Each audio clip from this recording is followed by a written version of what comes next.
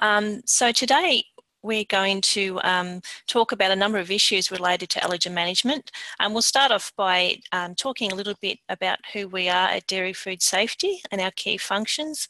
We'll consider some of the regulatory obligations of manufacturers as well as some food industry guidance and practice, practices around allergen management. Ian will discuss um, what an allergen management program is and what the various elements of that might be um, and how that might fit into a, a manufacturer's um, food safety program. We'll also look at what a dairy food safety manager is reviewing at, at, at audit um, when they're doing their regulatory audits um, and may decide to focus on um, allergen management and some of the typical non-conformances or corrective actions for allergens that they might observe during those audits. And then we'll finish up with looking at some recalls and some case studies um, where we see some failures in those allergen managements.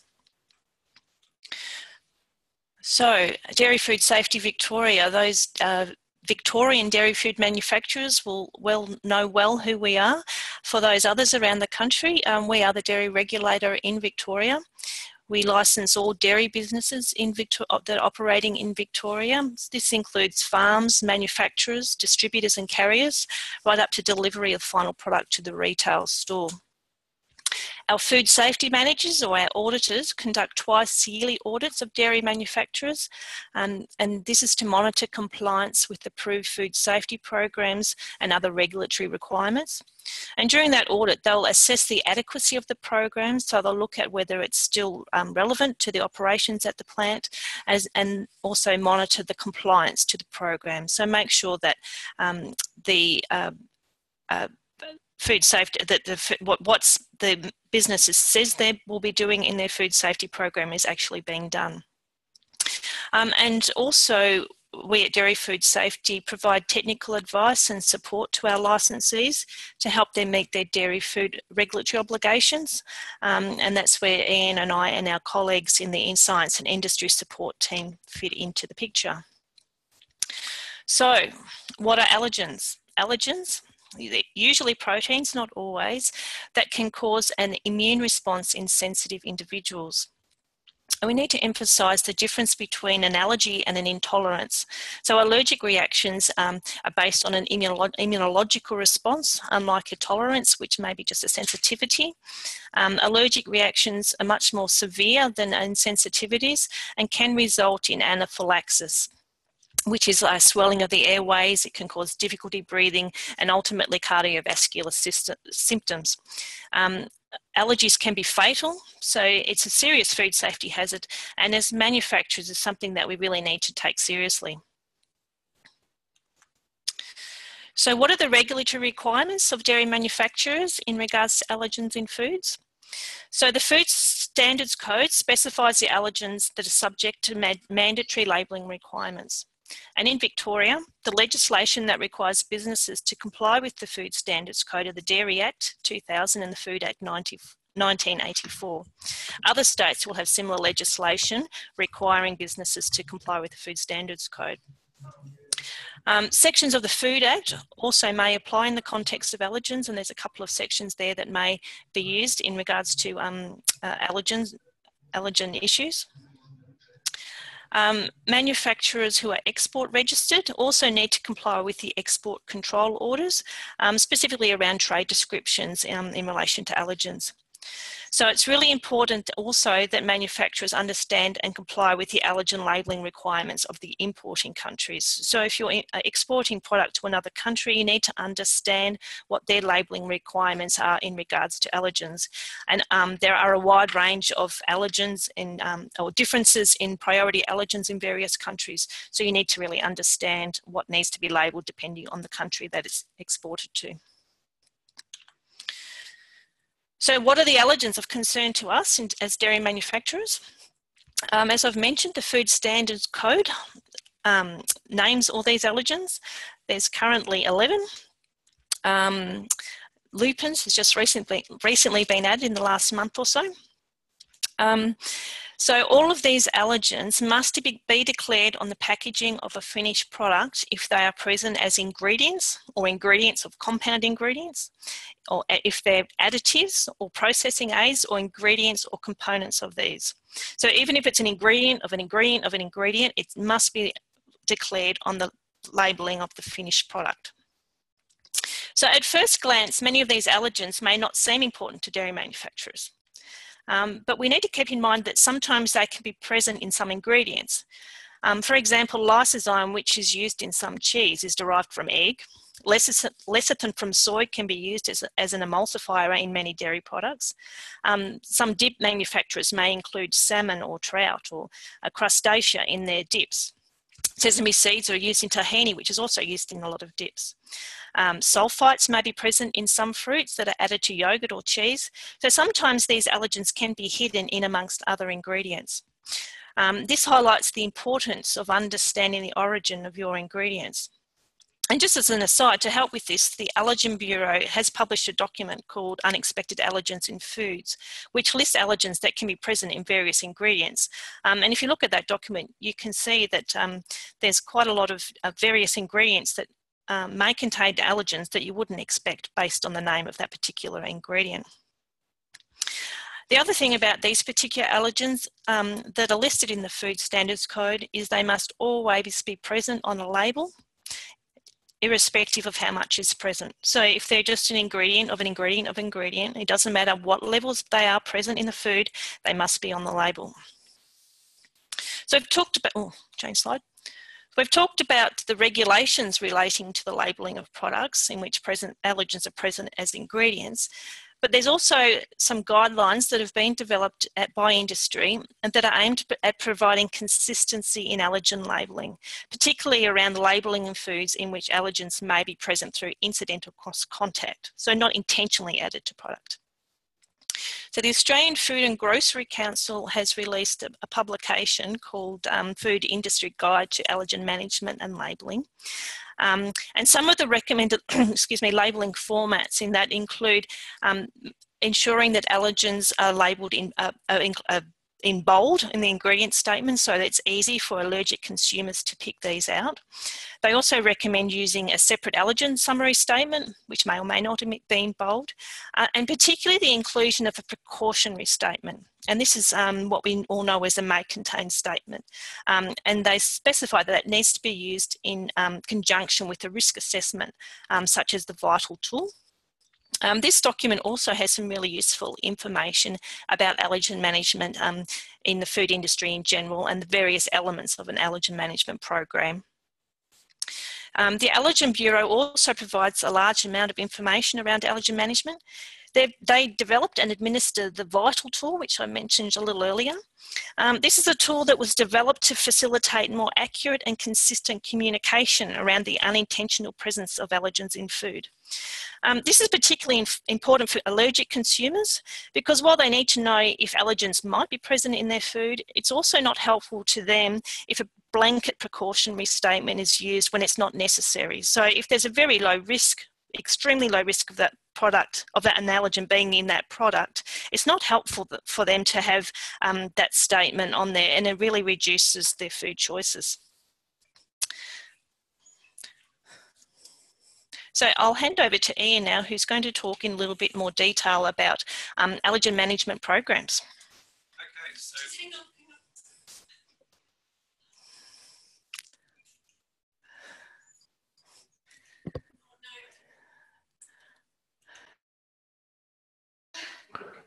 Okay, we're on air. okay, so let's look a little bit more specifically at how do you actually comply with uh, your labelling obligations and regulations and uh, through an allergen management program. Um, so how is it that uh, manufacturers manage, uh, manage allergens on their site to ensure products are labelled accurately uh, in regards to the presence of allergens? So firstly, you've got to understand what the allergens are and those that, uh, those that were listed as Gabby mentioned. Uh, and you also need to be aware of you know, what allergens are on site for the potential for allergens being in your products. Um, also, um, undeclared allergens in product can come from a number of sources. So things like uh, raw material control failures, um, cross contact, or even labelling failures. So the allergen management program is designed to control these possible clauses. Um, and then, of course, most importantly, is that the information you're trying to provide is how uh, you can protect allergic consumers, and also uh, equally for you is um, how you can protect your brand.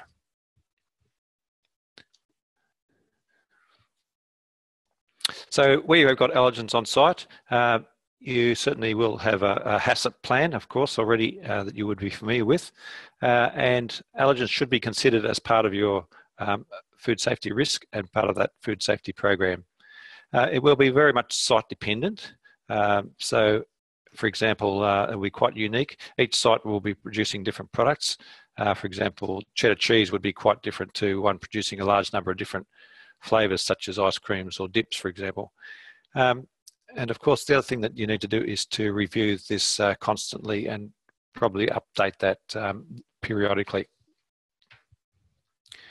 So when we have a look at the elements of an, an allergen management program, it'll vary from something quite simple or can be quite complex, um, as we mentioned, depending on the products that you're making.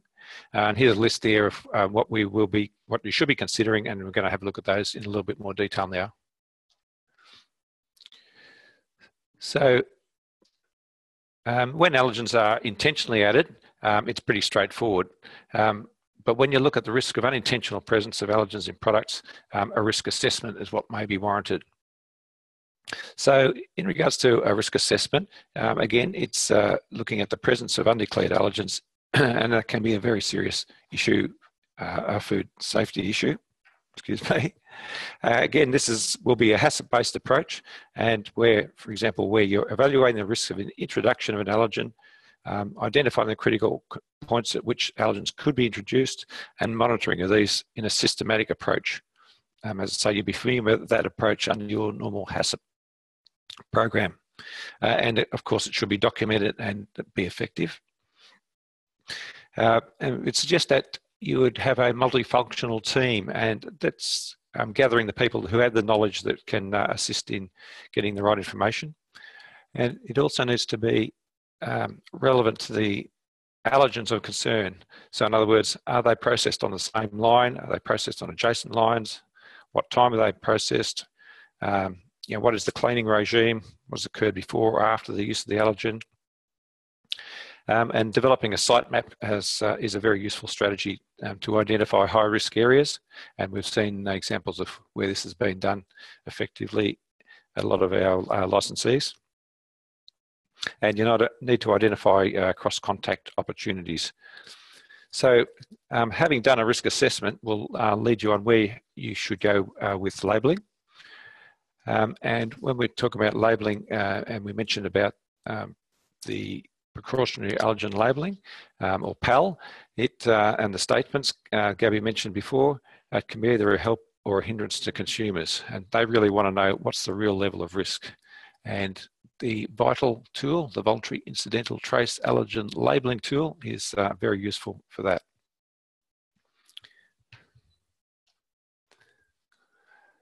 So if we move on to, you know, what are your vendor assurance or suppliers uh, and your raw material management aspects. Um, the question you need to ask is that certainly needs to be documented in your program. So supplier assurance and, has been emphasised from um, earlier seminars which we've held on um, on allergens in the past and, and quotes like um, you know you need to have trust in your suppliers or they're seen as an extension of your business. Um, you know what is the procedure if a new supplier, for example, um, regarding allergens for an, an, emergency change or you know do your uh, suppliers inform you of new formulations or ingredients you know how reliable are they and, and can you trust them to advise you um, the um, product information form the PIF um, it's a useful source of information but you need to question that and actually uh, you know, give it the sense test, I guess is what we would call it. You know, does it look logical to you? Is it believable? So what is the level of detail that's being provided and, and can you be confident that it's going to be accurate? Don't take it for granted that uh, what is written may necessarily be true. And so, as I mentioned, uh, you know, do the suppliers advise you when they change sources? You know, how do you find this out?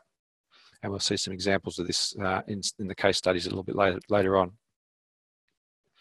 Um, and there is a book um, which is quite useful in determining the uh, the it's called the uh, unexpected allergens in food, and it's put out by the Allergen Bureau, and it uh, can help as a double check for allergen declarations um, and help you identify ingredients in which allergens um, can be present. So with regards to uh, raw material storage, it's really a case of getting the basics right. You know, are they dedicated areas for allergenic raw materials, which reduce the risk of cross-contaminant, uh, cross-contamination or inadvertent use. So, in other words, storing the um, the allergens on the, the uh, lower levels, for example, so they can't spill. So we have a look at um, validation and verification of cleaning. Obviously, this is uh, vital. Know, how do you how do you actually validate cleaning? In other words, how do you demonstrate the procedures used are effective in removing residues and controlling um, cross contamination? And as Gabby mentioned, you've got to remember that allergens are mainly proteins, so they will denature um, under some processes, particularly with heat. Uh, and a lot of them might be easy to clean off equipment. And they can be also fatty as well as proteinaceous and uh, quite sticky, particularly after heating. In some cases, it may take a couple of washes to actually clean them off. Um, so I'd also uh, suggest that you don't uh, forget to consider your COP in your water as a potential for um, COP water contamination. Um, and again, you know, if we're looking at uh, a wet wash versus dry wash, milk powders would be completely different. For example, they might use, um, you know, air flush or sugar flush, or you know, a combination of brushing and milk powder flushing, or, or whatever. So it will be different between the types of products that you're using or manufacturing. So, you know, what is considered effective validation? Um, it's been suggested that 30 samples spread along a processing line would be adequate and making sure that, uh, and of course, making sure that the cleanings remove the allergens. So in other words, you don't swab in the same spot um, before and after cleaning because you won't get the correct result. Um, choice of testing method, well, we'll talk about that a little bit more detail later on.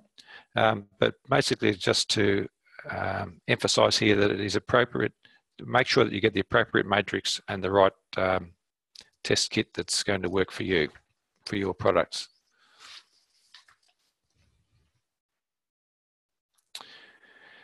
So the segregation of your, uh, or the scheduling of your production, um, obviously you need to keep um, allergens segregated and degree, uh, well, to the degree that's possible and practicable. Um, they need to be dedicated and easily identifiable. And, and, all of these, for example, containers, bins, pallets, um, allergen containing products um, can be color coded as an example.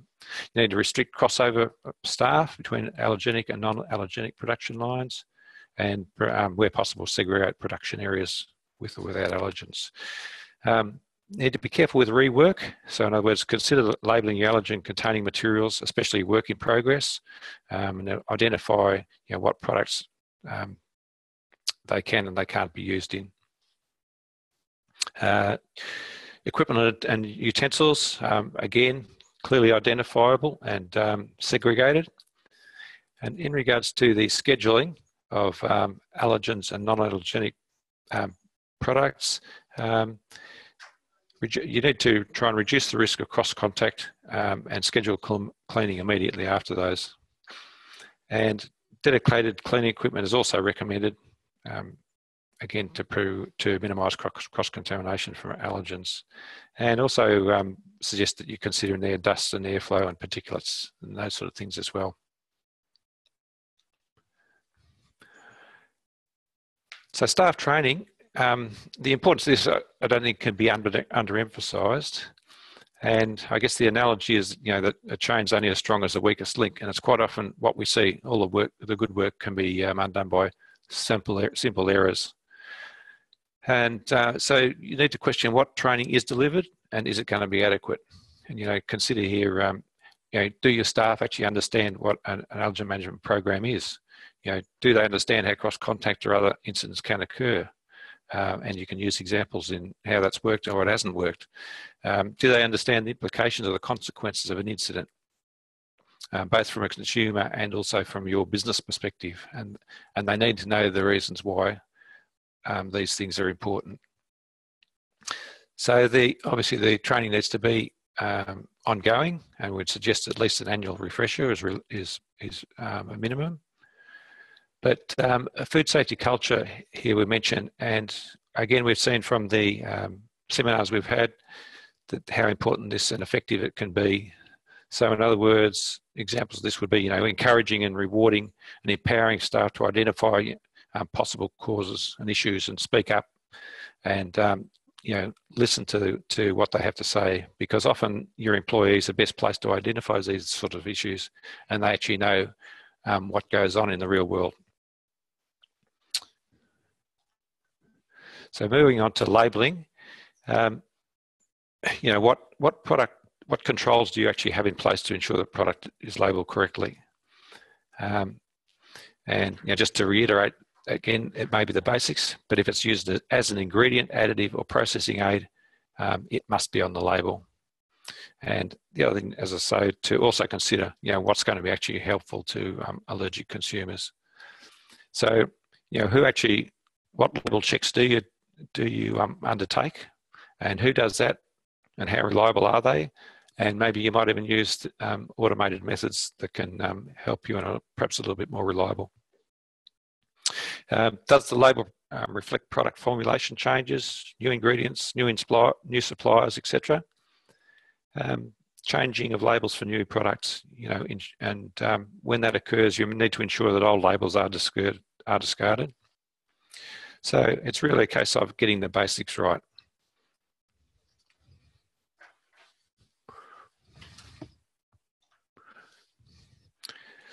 So verification. Um, verification is basically a schedule for testing a product to confirm that the allergen management program is working. Um, similar to the way that your regular micro testing um, is a verification check.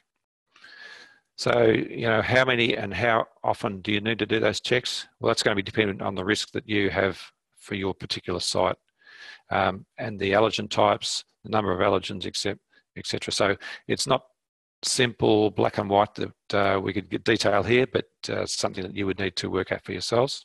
But uh, it certainly would be a, need to be an ongoing program.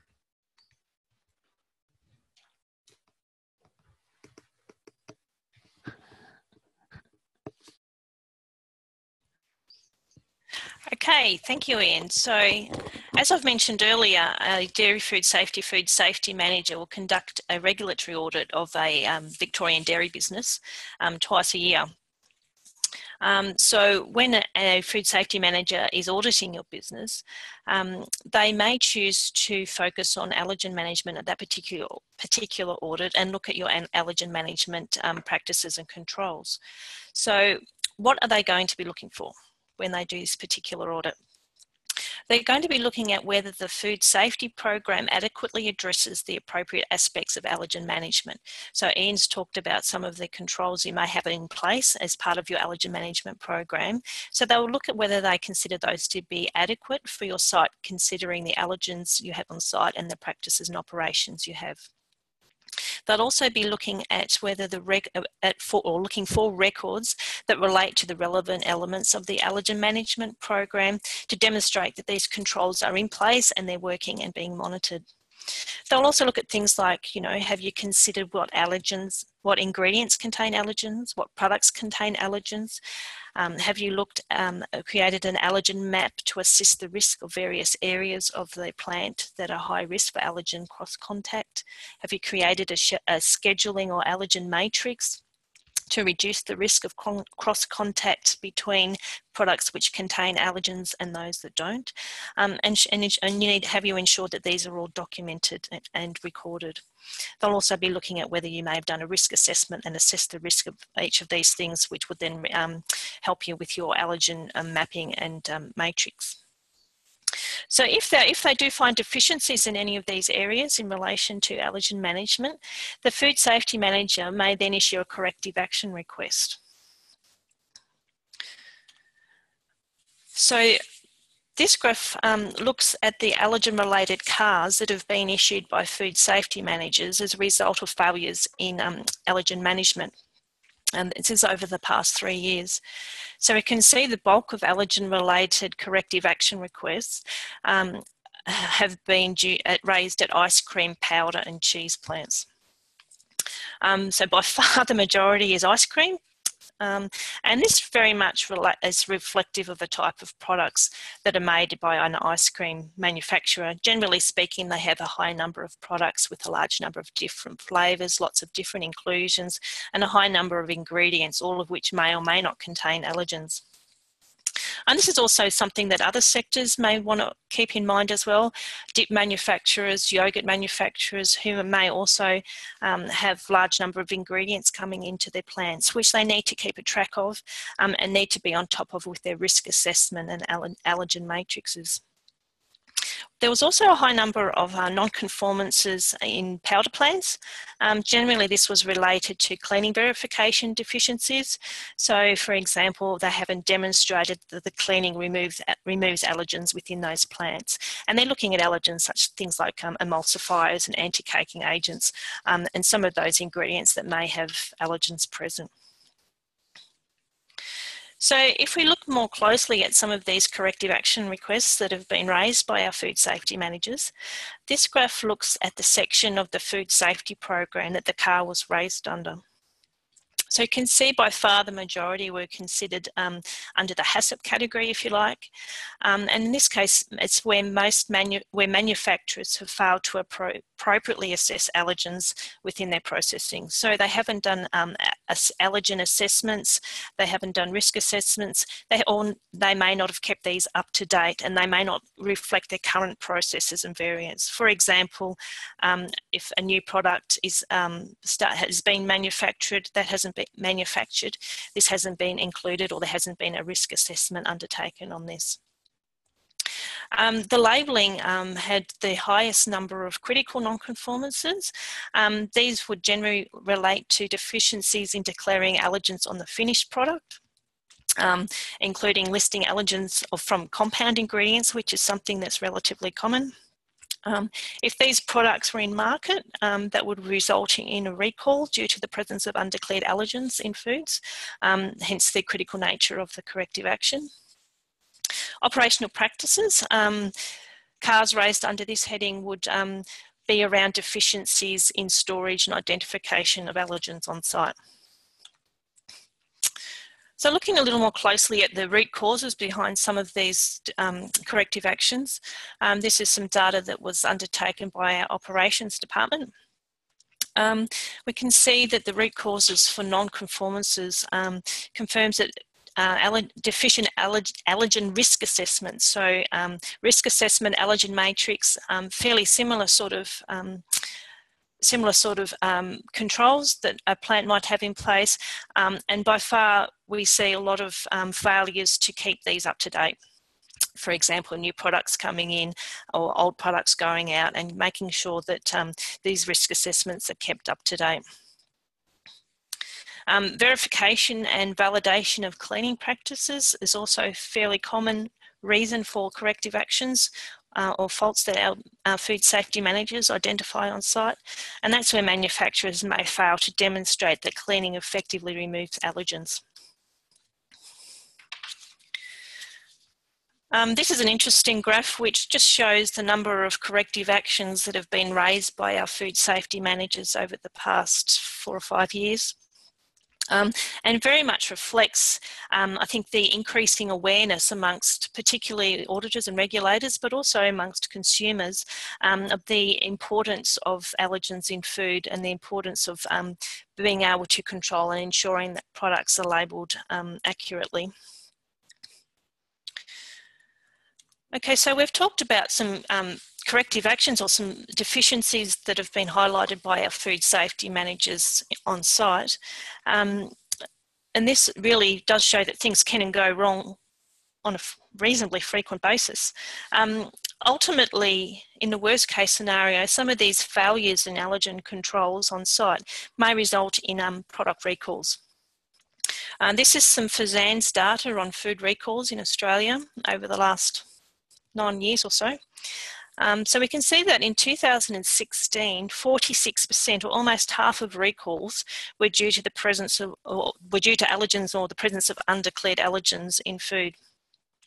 Um, and again, this is something that's the number has been steadily growing over the past years, as you can see quite clearly from this table. And this is also reflected in the previous slide where we've seen an increase in the number of corrective actions. So all this data really does suggest that there's still a lot of work to do in the area of allergen management. Um, just as a little aside, this is another. This is some more data from FSANZ, um, looking at the type of allergens that were responsible for the recalls during the period. So this is over a large period from 2007 to 2016. Um, and interestingly, dairy is the allergen that's most commonly um, the mo that's the most common cause of an undeclared allergen food recall. Keeping in mind this isn't actually dairy product, this is the presence of milk proteins in products in which it shouldn't be present. But it's also something that we need to keep in mind as dairy manufacturers if we're also producing non-dairy products. So while we might, we have obviously a lot of milk protein on site, if we're producing products that are dairy free, we need to ensure that our cleaning validations and all our allergen controls um, are up to date and effective. Um, so now we're just going to have a look at a few case studies um, and examples of where things have gone wrong. And these are all examples that our food safety managers have identified during audit um, or have been notified to us as a regulator. In this case, a manufacturer of a gelato was making a Tim Tam gelato.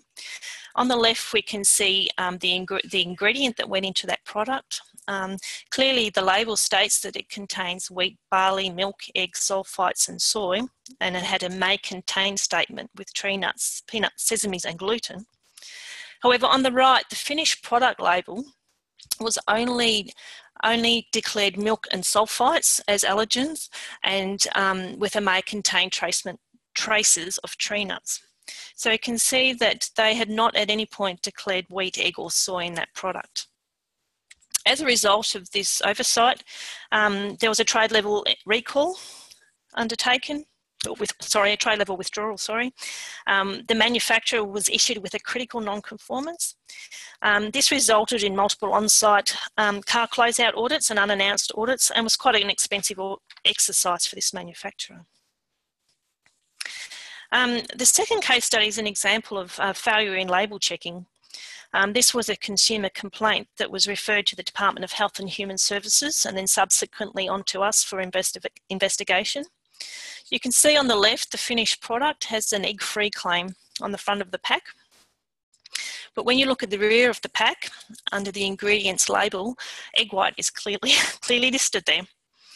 Um, and it was considered that given the risk that susceptible persons susceptible people might be attracted to the egg-free claim on the front and not then check the ingredients label. Um, this also resulted in a recall of uh, 690 units of this particular product. Um, another example of um, failing to check ingredient labels, um, this was a small ice cream manufacturer. They used milk powder um, as an ingredient in all their products. We can see from the picture on the screen that that contained an emulsifier derived from soy.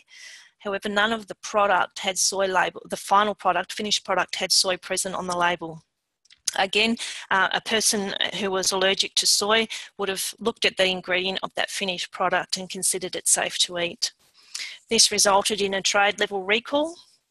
Um, all categories of finished product were tested for soy um, and a, a, change in their operational procedures um, and the manufacturer now ensures that all, all milk powder is, um, they source milk powder that's free from soy. Um, this is another case I mentioned earlier about lysozyme being present in some types of cheese. Um, this is a case of the manufacturer failing to check labels or um, using an alternative supplier and not checking whether the ingredients were the same as their um, previous supplier. Um, a routine audit identified um, that um, there was lysozyme present in the um, ingredient that went into a, that was blended with another product. Um, this was declared on the ingredient label and it was declared um, on the uh, PIF form, the product specification form. Um, there was a failure by the manufacturer to review that document, documentation appropriately, appropriately and ensure that um, the finished product label also declared that there was product, uh, there was egg in the final product. This resulted in a consumer level recall um, and changes to the incoming product um, specifications and procedures. I'm now going to finish up with a good example. Um, this is an example of a dairy business which was proactive in its approach to precautionary labelling. Um, initially, um, this was a manufacturer that pr produced a wide range of different products with different flavours and inclusions, um, and all product produced on that site was labelled as may contain. Um, the retailer customer for that manufacturer recommended that they undertake a vital assessment and look more closely at their allergen practices. So a vital training was undertaken by their QA manager and went on to do, who went on to do a vital assessment on all the products. There was quite a number of products, it was a big job and they went line by line and did a, an assessment of um, the entire um, uh, uh, range of, of products that they produced. As a result, they developed an allergen matrix, um, which then were used for scheduling and production. Um, but more importantly, they undertook a very large project to, um, to look at, to do some cleaning validation. So they looked at all their lines and completely dismantled the filler lines and did some swabbing. And so they swabbed after one wash, two washes and three washes. And they determined that for some of their allergens, it took two washes to remove um, all traces of that particular allergen from the line. This was then built into their allergen matrix and production schedule. And so any equipment that was used for any product produced after those certain products um, needed to have two washes before a new product was, was um, put through the line. They also audited um, high risk suppliers. So they looked at the suppliers, and any suppliers who had allergens present on site were subjected to an audit by this manufacturer. And this helped them eh, give them confidence that those manufacturers um, were appropriately labelling and controlling allergens on their site. Um, they had uh, instigated a, a comprehensive staff training program. Um, so all staff were trained on allergens and this was refreshed annually. They also looked at um, modifying their ingredient storage practices. They created a specific room for allergens, um, pallet space for large quantities, and had, had a segregated room in the cooler to ensure that all allergens were well segregated from um, non allergen containing um, ingredients. All equipment is color coded, so any equipment used on um, any work in progress or um, finished product or ingredients that contained allergen was color coded appropriately and staff were trained to know that what the colors what that any colored equipment was not to be used on um, products with no allergens present. So as a result of this review that the um, this particular manufacturer did and using the vital tool and doing their risk assessments and their cleaning validations the outcome was that they no longer needed to use a may contain statement for allerg all allergens um, and subsequently all their product is now only has a may contain statement for tree nuts and that's due to the particulate nature of those um, that particular allergen um, and this outcome is also much more helpful for allergic consumers because they can be confident when they um, look at this product that it is safe for them to eat um, and they can, eh, rather than just look, being able to look at that product, seeing a may contain statement and considering that they can't have that product. Um, so I'll briefly hand over now to Ian who will talk about some testing methods and wind up the webinar. Thank you. Okay, so just having a, quick look at this, um, it is important to understand that the methods being used and the factors that can influence the um, ability to accurately detect allergens. So bearing that in mind, there are a couple of options that uh, are available for you for testing.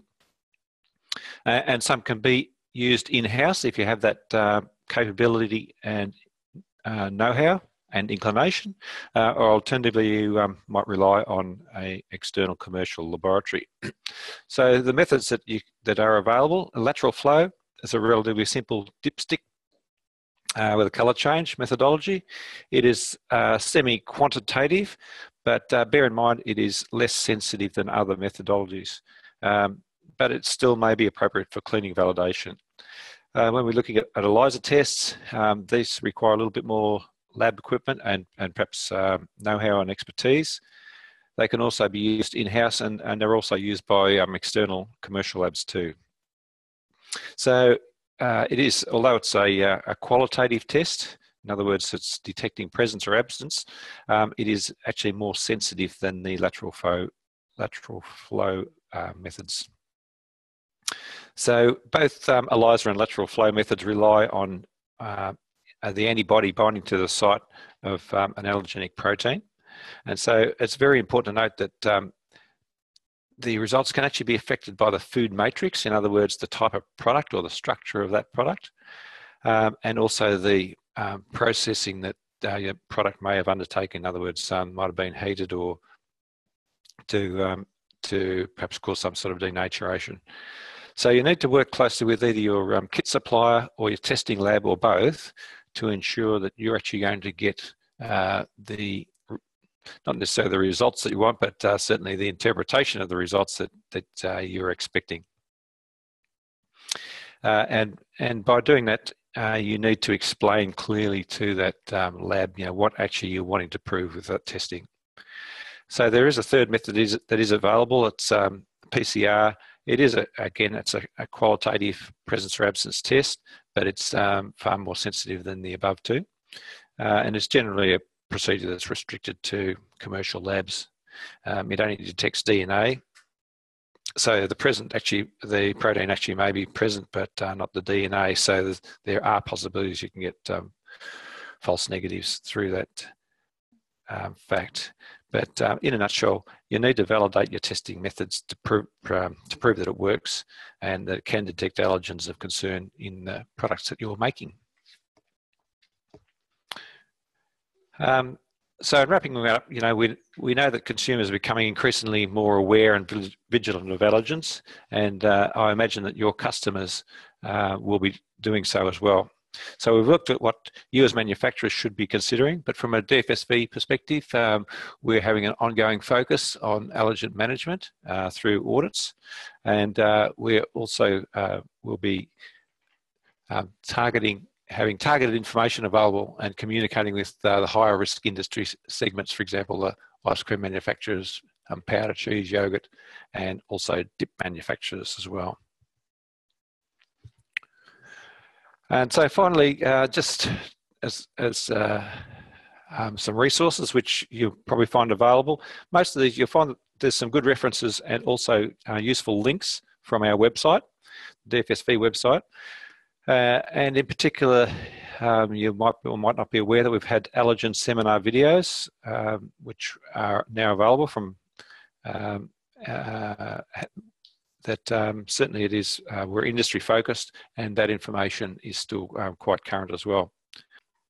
Bureau suggests that you know you would wanting you'd be wanting to look at um, you know 30 so obviously it's going to depend on the size of the line and, and the nature of the processing line that that you are looking at, but um, you would need to sort of do the multiple sites and you would need to do um, at least three times and you'd need to focus on the hard to clean areas to, to demonstrate that the entire line has been cleaned of um, and cleared of allergens.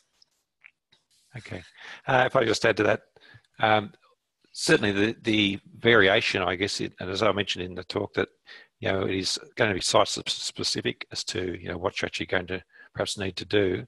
Uh, and it, as there's quite a, a, broad range, and as Gabby mentioned, um, you know, um, it's not just cut and dried or easy to put in a box. Um, you almost need to look at your individual situation and determine that yourself. Does the ELISA test target certain allergens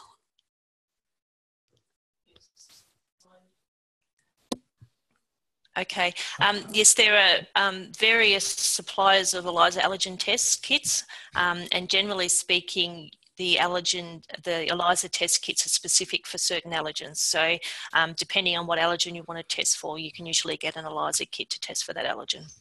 And there's a number of different um, uh, uh, lab suppliers out there who who can supply those. Um, are there any guidelines on frequency of product testing? No.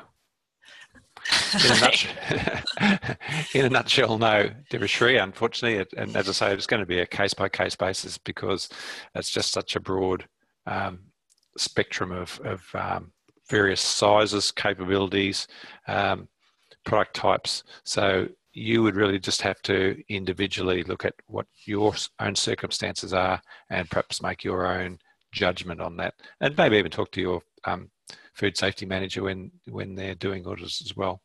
But uh, no, there's no specific guideline that you can follow for that, unfortunately.